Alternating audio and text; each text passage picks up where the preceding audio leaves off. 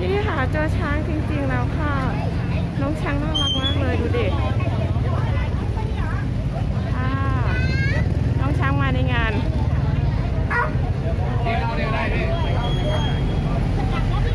นี่ค่ะ เดี๋ยวบอกวันให้พี่ครับผม เก็บเก็บเก็บเก็บเก็บช้างน้อยช้างค่ะนี่ค่ะจับมาช้างค่ะขอบคุณค่ะ มาจากไหนอะพี่มาแล้วอ๋อปลาช้างยุทธยาค่ะ ไปแล้วค่ะ น้องจากปช้างยุทธยาค่ะไปแล้วบายบายน้องช้างกันค่ะวิหารนี้คือตัวเมืองจังหวัดปทุมธานีกันนะคะนี้ค่ะพามาชมตัวเมืองน้องช้างไปแล้วนู่นไปแวะตรงนู้นก่อนเมื่อกี้พาไปที่จับงานด้วยเห็นไหมได้จับงานน้องด้วยอ๋อเหมือนเดิมค่ะพี่คนเรามาถูกจังหวะถูกนั่นไม่สั่งมาสายแล้วนะ ไม่อยากจะบอกแล้วเจอน้องช้างพอดี เจอตอนน้องช้างเลิกงานค่ะพี่พี่ไปเราไปกันต่อดีกว่า นี่ค่ะ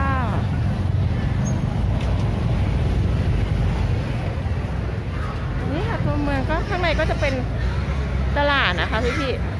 ตลาดจังหวัดปทุมธานีค่ะตัวเมือง อันนั้ก็จะเป็นสถานีอันนี้ก็เป็นธนาคารนะคะโอ้โหนี่ค่ะไปค่ะพี่ๆมาเดินกันต่อ ไป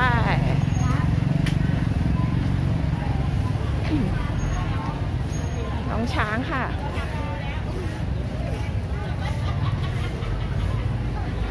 เคยดูแต่คลิปช้างวันนี้ได้เห็นช้างเมื่อกี้แอบสอบถามเขาแล้วเขาบอกว่ามาจากปางช้างอยุธยาค่ะ ก็ใกล้ๆอะพี่ค่ะพี่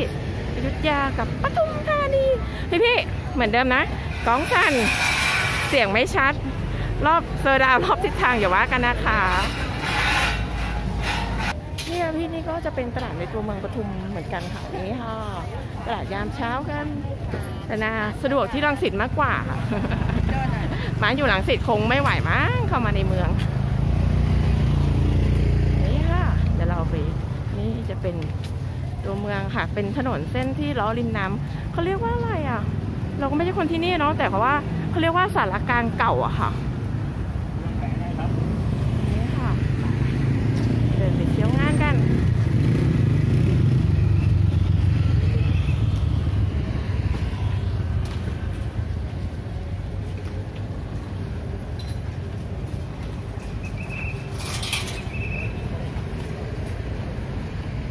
อันนี้ ก็จะเป็นนี่ค่ะสถานที่ราชการอีกหนึ่งคน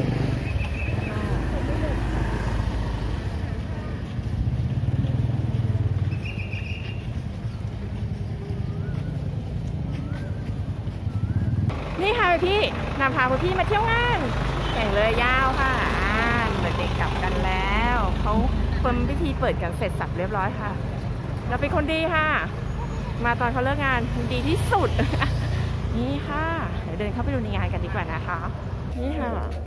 นี่ก็จะเป็นตลาดในงานนะคะพี่พี่เสลี่ยงบัวค่ะ สวยมากจังหวัดปทุมคือเมืองของบัวค่ะนี่ค่ะดูนี่ค่ะ ที่นำบอกเมื่อกี้ว่าที่นี่คือสารกลารเก่าของจังหวัดปทุมธานีค่ะอย่าบอกใครนะเพิ่งเห็นกัน บอกแล้วไม่ค่อยไม่ใช่เด็กแถวนี้ นี่ค่ะอู้อุตตาสองสี่หกศูนย์ค่ะพี่ นี่ค่ะ สารกลางเก่า ถ่ายให้ดูนะพี่ นี่ค่ะสารกลางเก่าจังหวัดปทุมธานีค่ะ เห็นพ่อพญาพุธกันไหมคะ เอกลักษณ์ค่ะของหลวงนี่ค่ะ มีบัว ที่นี่บัวจะเยอะหน่อยนะคะพี่พี่นี่ค่ะเดี๋ยวนางขออนุญาตจบ จบคลิปนี้นะคะด้วยการค่ะพาเจอน้องช้างเป็นสิริมงคลก่อนเริ่มงานวันใหม่นะคะ ยังไงนะขอกล่าวคำว่า สวัสดีพี่ๆทุกคนนะคะ สวัสดีค่ะ บ๊ายบายนะคะพี่ๆ